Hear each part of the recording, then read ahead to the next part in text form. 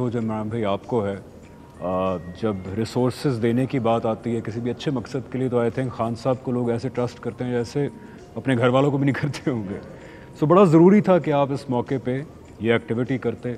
अल्लाह आपको अजर दे इस चीज़ का और लोगों के लिए बहुत ज़रूरी है कि वो यूनाइट हों इस मकसद के लिए हो भी रहे हैं। जैसे आप बता रहे हैं कि डेढ़ अरब से ज़्यादा इकट्ठा जो है वो हो चुका है माशाल्लाह। डेढ़ सौ करोड़। दो हाँ तो और भी लोग इसका जी, डेढ़। हाँ जी और भी लोग इसका हिस्सा बने और मैं गुजारिश ये करूँगा खान साहब आपसे कि लग क्राइम तो यही बताते हैं कि आपकी शायद बड़ी भारी अक्सरियत से हुकूमत आने वाली है अगले कुछ टाइम के अंदर। तो इसका लॉन्ग टर्म भी आप कुछ कीजिएगा ना कहें क्योंकि फिर और एफ़ आई आर कट जाएँगे। वो डिस्कालीफाई फिर करने की कोशिश करेंगे हाँ जी लेकिन ता, तारीख यही बताती है कि जब भी हमारे साथ कॉलर हैं। अस्सलाम वालेकुम। वालेकुम सलाम। जी कौन साहब कहाँ से बात कर रहे हैं जी? जी मैं एजाज हुसैन बात कर रहा हूँ सैन एंटोनियो टेक्सास यूएसए से। जी जी। जी जी बोलिएगा। तो मैं तीन हज़ार डॉलर डोनेट करना चाहता हूँ पीटीआई सैन एंटोनियो की तरफ़ से। तीन हज़ार डॉलर। जी शुक्रिया। हमारी जो वेबसाइट है flood relief 2022 Punjab dot G O V dot P K ये स्क्रीन पर भी लगा दे जी वेबसाइट। अब तक इस पे खान साहब अभी थोड़ी देर पहले ही लॉन्च हुई है। तो साढ़े तीन लाख डॉलर्स जो हैं माशाल्लाह। वो आ चुके हैं। तीन लाख पचास हज़ार डॉलर्स मोहित पिज़ादा साहब welcome to the transmission thank you Faisal thank you Khan साहब। फ़र्स्ट ऑफ़ ऑल तो मैं आपको uh, समझता हूँ कि आपने बहुत अच्छा ऐलान किया कि आपने कहा कि अब सिंध के साथ भी और सेंटर के साथ भी, क्योंकि तलखियाँ इतनी हो चुकी हैं आपकी जमात पर इन सब जमातों के दरमियान, आप दहशत गर्द भी हो चुके हैं, सोलह एफ़ आई आर्स आपके खिलाफ हो चुकी हैं। कंटेम्प्ट आपके खिलाफ है दफ़ा एक सौ चौतालीस ख़त्म करने की आपके खिलाफ है। छब्बीस तारीख के दखल दस केसेस वो थे आपके खिलाफ। और ऊपर से इसने कह दे दो तिहाई अक्सरियत मिलेगी वो तो सर हिस्ट्री बताती और आ जाए। वो तो हिस्ट्री बताती है। ही एफ़ आई आर का नाम लेते कॉलर आ जाते हैं। अभी आपने फॉरेन फंडिंग एक और रेस कर दी यहाँ पे डेढ़ दो अरब रुपए एफ़ आई आर का नाम ना ले कॉलर और फॉरेन फंडिंग आ गई। कॉलर और ज़्यादा कॉलर बात मैं बात क्या अस्सलाम वालेकुम। जी अस्सलाम वालेकुम। फॉरेन फंडिंग जारी है। अस्सलाम वालेकुम। चलिए परवेज भाई साहब आप खामोश बैठे हैं काफ़ी देर से तो देख रहे कौम का जज्बा। बहुत जज्बा है। और अभी लगारी साहब बात कर रहे थे तो फिर मैंने मुनासिब नहीं समझा। तो आज ही हमारी कैबिनेट मीटिंग थी तो उसमें सारी अभी हमारे लोग असेसमेंट कर रहे हैं कि जो जो नुकसान हुए हैं। और ये बाकी बात सही है कि जो मकानात हैं ना उस हवाले से जी हमारा एक प्लान है बुध को हमारी मीटिंग है। बाहर से लोग आ रहे हैं वो कहते हैं जी हम घर बना के दे देंगे लोगों को। तीन तीन कमरे का घर देंगे और पूरी फैसिलिटीज़ अंदर होंगी तो वो इंशाल्लाह काफ़ी हेल्प हो जाएगी। अस्सलाम वालेकुम। कॉलर जी अस्सलाम वालेकुम जी। आवाज़ आ रही है आपको? हमारे साथ है कौन? अस्सलाम वालेकुम जी। शान शान है लाहौर से। जी शान चाहे पाकिस्तान के सुपरस्टार और जज्बा है हुबल वतनी से सरशार। शान अस्सलाम वालेकुम। जी वाईसलाम फैसल कैसे हैं आप? ठीक ठाक। जी। जी इस्लाम खान साहब सबसे पहले तो मैं आपका शुक्रिया अदा करना चाहता हूँ कि जब भी अ, मुल्क किसी भी अ, हालात में मुब्तला होता है तो सबसे पहले आप निकलते हैं चाहे वो कॉज हो शौकत खानम का जलजा जदगान का पिछले जो सैलाब आए, उसमें भी आपने बढ़ चढ़ के हिस्सा लिया। और इस दफ़ा भी तमाम तर मुश्किल आवाम जो है, वो सारी मुश्किल आपकी समझती है। आप जिन मुश्किल में घिरे हैं, सारी आवाम समझती है, लेकिन उसके बावजूद आज आपने बड़ेपन का मुजाहरा करते हुए फिर पाकिस्तान की मदद करने आप निकले हैं। बहुत शुक्रिया आपका। जिस तरह आपको इस कॉम से उम्मीद है इसी तरह इस कॉम को भी आपसे बहुत सी उम्मीदें। खान साहब बहुत अच्छा लगा कि आपने ये टास्क लिया। मैंने ट्वीट भी किया था इसके बारे में। अ, हमेशा जब भी आपको पाकिस्तान फ़िल्म इंडस्ट्री की भी ज़रूरत पड़ी चाहे वो शौकत खानम की फ़ंड रेजिंग हो या सैलाब जदगान के लिए हो या जलजिला जदगान के लिए हो हमेशा पाकिस्तान फ़िल्म इंडस्ट्री जो है वो आपके साथ साथ खड़ी रही। और हमेशा खड़ी रहेगी पाकिस्तान के लिए। अ, मैं खान साहब थोड़ा सा आपके साथ एक्सटेंडेड क्योंकि अ, हमारे चीफ मिनिस्टर साहब परवेज़ लाई साहब भी बैठे हैं। तो मैं ये ज़रूर कहना चाहूँगा कि इस कार खैर को बिकॉज़ ये एक या दो दिन का हंगामी सूरत हाल नहीं है। ये काफ़ी लंबा चलेगा सिलसिला एक साल दो साल तक हमें इसको रिहेबिलिटेट करने के लिए बहुत कुछ चाहिए बहुत से फंड्स चाहिए। तो मैं आपसे ये ज़रूर रिक्वेस्ट करूँगा कि ज़रूर एक ऐसी पॉलिसी भी बनाई जाए जहाँ जहाँ पे पीटीआई की हुकूमत है, वहाँ पे ज़रूर ऐसी पॉलिसी बनाई जाए कि कल्चर के थ्रू हम फंड रेजिंग कैसे कर सकते हैं।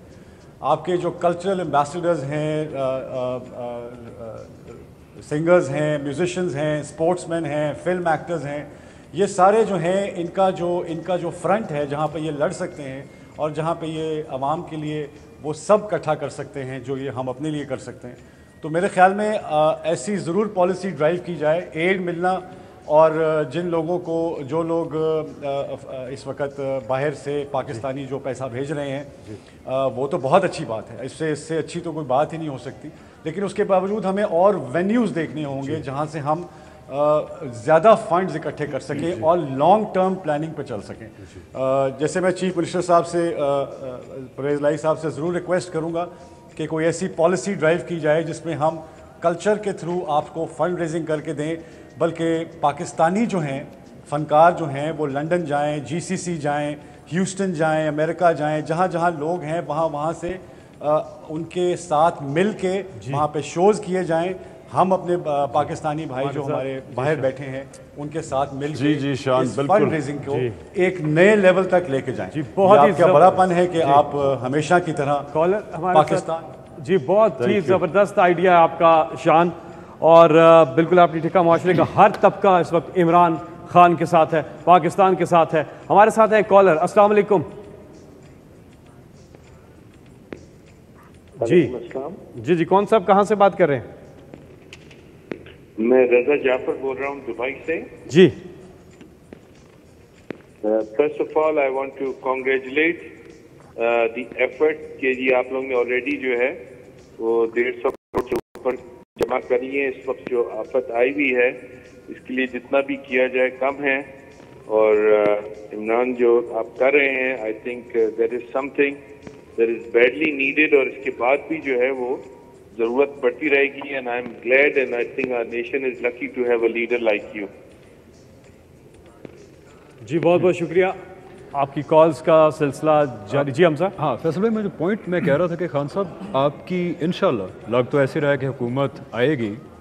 सो इसका लॉन्ग टर्म कुछ सोल्यूशन होना चाहिए क्योंकि जो अभी फ्लड्स आए हैं हम जानते हैं कि ग्लोबली क्लाइमेट चेंज की वजह से बार बार आएँगे ये पाँच साल बाद भी आएँगे तो उसका कोई लॉन्ग टर्म सोल्यूशन चाहे वाटर रेजरवायर्स हों या कोई और चीज़। देखिए इसके तीन लॉन्ग टर्म सोल्यूशन हैं। नंबर वन कि जो क्लाइमेट चेंज है ये दुनिया में अब फिनोमेना है। या आगे लग रही हैं या अब यूरोप के अंदर कभी भी ऐसी खुशहाली नहीं आई और फिर साइबेरिया में कभी आग नहीं लगी। सो एक तो एक तो वो है ना क्लाइमेट चेंज उसके लिए तो पाकिस्तान में हमने जो अपने जंगल तबाह किए हैं और जो हमने कोई किसी ने इन्वायरमेंट की परवाह नहीं की। तो वो जो हमारा टेन बिलियन ट्री सुनामी और फिर उसके अलावा भी और दो तीन हमारे इनिशिएटिव्स हैं एक तो वो चलता रहेगा ना दरख्त उगाना और अपनी इन्वायरमेंट को बचाना।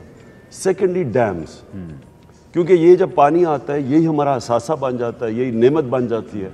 वो तबाही का सबब बन जाता है क्योंकि हमने कोई डैम्स पचास साल में कोई डैम्स नहीं बनाई। चाइना में उसी दौर में पाँच हज़ार बड़े डैम बने हमारे सिर्फ़ दो हैं अभी। और दो हम आ, दासू और बादशाह अब हम बना रहे हैं, जो कि तीन, चार साल, पाँच साल में बनेंगे।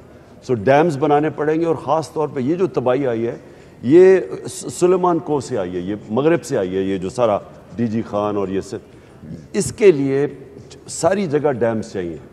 ये और वहाँ, वो है भी बड़ा खुश्क इलाका। सो एक वो हो गया। और जो तीसरी चीज़ है, वो ये कि बेसिक गवर्नेंस है, बंद बनाने। अब कोयटा वो वो नौशहरा बच गया बिकॉज़ इन्होंने पिछले चार पाँच साल में वहाँ बंद बना दिए। नहीं तो नौशहरा डूब गया था पिछली बारी 2010 में।